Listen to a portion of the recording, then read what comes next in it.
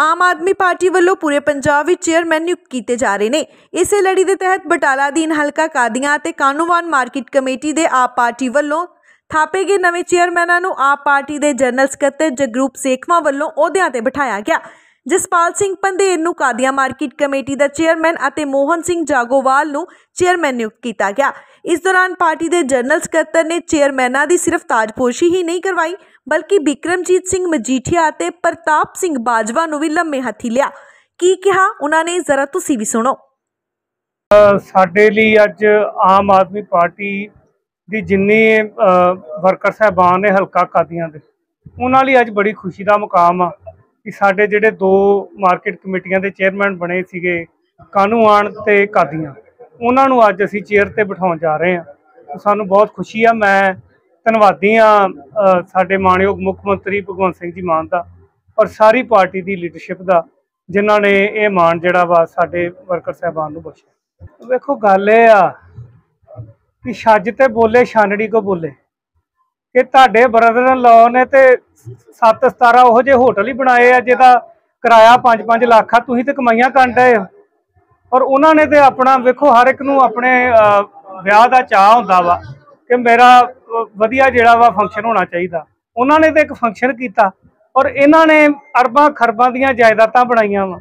ਇਹ ਲੋਕ ਸਾਡੇ ਤੇ ਕਟਾਸ਼ ਕਰਨਗੇ। ਵੇਖੋ ਪੰਜਾਬ ਦੇ ਵਿੱਚ ਸਾਨੂੰ ਜੋ ਪਾਰਟੀ ਹਾਈ ਕਮਾਂਡ ਨੇ ਆਖਿਆ ਕਿ ਤੁਸੀਂ 13 ਦੀਆਂ 13 ਸੀਟਾਂ ਦੀ ਤਿਆਰੀ ਕਰੋ।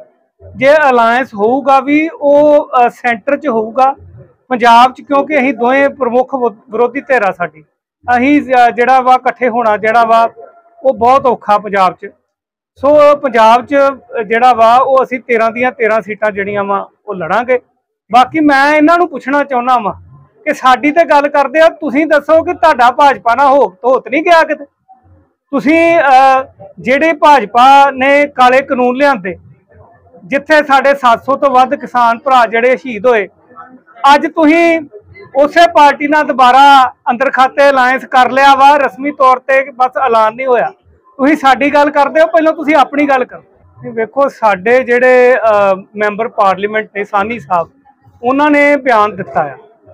ਸੋ ਇਹ ਗੱਲ ਨਹੀਂ ਕਿ ਸਾਡੀ ਪਾਰਟੀ ਨੇ ਬਿਆਨ ਨਹੀਂ ਦਿੱਤਾ, ਉਹਨਾਂ ਨੇ ਕਿਹਾ ਵੀ ਆ, ਦੋਨਾਂ ਸਰਕਾਰਾਂ ਨੂੰ ਅਪੀਲ ਵੀ ਕੀਤੀ ਆ ਕਿ ਵੇਖੋ, ਜੇ ਕੈਨੇਡਾ ਦੇ ਤੇ ਪੰਜਾਬ ਦੇ ਹਾਲਾਤ ਜਿਹੜੇ ਆ, ਹਿੰਦੁਸਤਾਨ ਦੇ ਜਿਹੜੇ ਰਿਲੇਸ਼ਨ ਆ ਖਰਾਬ ਹੁੰਦੇ ਆ, ਤੇ ਉਹਦੇ ਤੋਂ ਵੱਧ ਸੰਤਾਪ ਜਿਹੜਾ ਉਹ ਪੰਜਾਬ ਨੂੰ ਭੁਗਤਣਾ ਪੈਣਾ ਵਾ।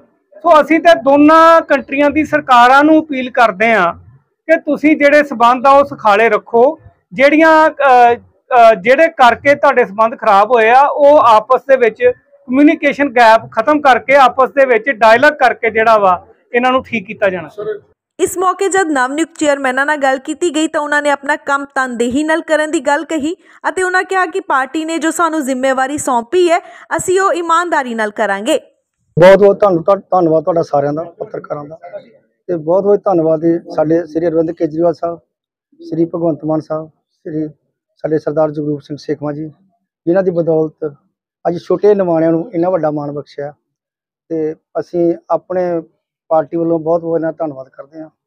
ਪਰ ਜਿਹਨੇ ਐਡਾ ਵੱਡਾ ਮਾਣ ਬਖਸ਼ੇ ਛੋਟੇ ਜਿਹੇ ਪਰਿਵਾਰ ਦੇ ਵਿੱਚ ਹੁਣ ਤਾਂ ਲਿਆ ਬਿਲਕੁਲ ਜਿਹੜੀ ਆਮ ਆਦਮੀ ਪਾਰਟੀ ਹੈ ਇਹ ਆਪਣੇ ਕੀਤੇ ਵਾਅਦਿਆਂ ਦੇ ਪੂਰੇ ਆ ਰਹੀ ਹੈ। ਜ਼ਿੰਮੇਵਾਰੀਆਂ ਵੀ ਇਸੇ ਤਰੀਕੇ ਨਾਲ ਗਾਂਹ ਵੀ ਤੋਰਨ ਨਿਭਾਈਆਂ ਜਾਣਗੀਆਂ। ਜਿੱਦਾਂ ਹੁਣ ਨਿਭਾਉਣ ਦੇ ਇਦਾਂ ਹੀ ਨਿਭਾਈਆਂ ਜਾਣਗੀਆਂ। ਬੜੀ ਖੁਸ਼ੀ ਹੁੰਦੀ ਆ ਵੀ ਆਮ ਆਦਮੀ ਪਾਰਟੀ ਨੇ ਜੋ ਵਾਅਦੇ ਕੀਤੇ ਸੀ, ਜਿਹੜਾ ਕੰਮ ਕਰੇਗਾ, ਉਹਨੂੰ ਅਸੀਂ ਸੁੱਤਿਆਂ ਪਿਆਂ ਤੇ ਘਰ ਬੈਠੇ ਹੀ ਅਹੁਦੇ ਦੇਵਾਂਗੇ।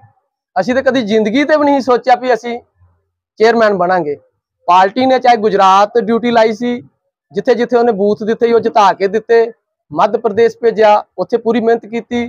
ਫਿਰ ਜਲੰਧਰ ਜਿਹੜੀ ਆ ਐਮਪੀ ਦੀ ਬਾਈ ਇਲੈਕਸ਼ਨ ਹੋਈ ਸੀ, ਉੱਥੇ ਭੋਗਪੁਰ ਦੇ ਵਿੱਚ ਬੂਥ ਨੰਬਰ 26 ਦਿੱਤਾ ਸੀ ਮੈਨੂੰ। ਉੱਥੇ ਵੀ ਮੈਂ ਪਾਰਟੀ ਆਪਣੀ ਨੂੰ 77 ਵੋਟਾਂ ਨਾਲ ਜਿਤਾਇਆ ਸੀ। ਅਸੀਂ ਪਾਰਟੀ ਨੂੰ ਕੰਮ ਕਰਕੇ ਦਿੱਤਾ ਜਿੱਥੇ ਜਿੱਥੇ ਡਿਊਟੀ ਲਾਈ, ਪਾਰਟੀ ਦਾ ਹੁਕਮ ਮੰਨ ਕੇ ਅਸੀਂ ਕੰਮ ਕੀਤਾ ਤੇ ਸਾਨੂੰ ਪਾਰਟੀ ਨੇ ਘਰ ਸੁੱਤਿਆਂ ਪਿਆ ਚੇਅਰਮੈਨੀ ਦਾ ਅਹੁਦਾ ਦਿੱਤਾ, ਜਿਹੜਾ ਅਸੀਂ ਕਦੀ ਸੁਪਨੇ 'ਚ ਵੀ ਨਹੀਂ ਸੋਚਿਆ।